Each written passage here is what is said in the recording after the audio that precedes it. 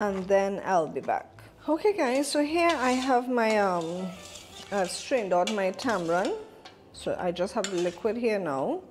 So now we're gonna season this up. Now, depending on how sour your tamarind is will determine how much sugar you'll add to yours.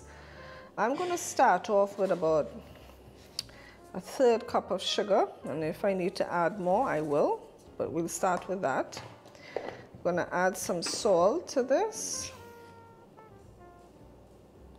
so I'm gonna add some salt I'm also gonna add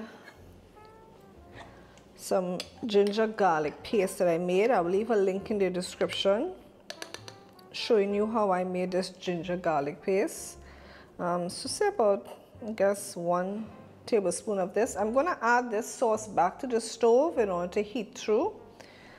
So I'm adding about, I would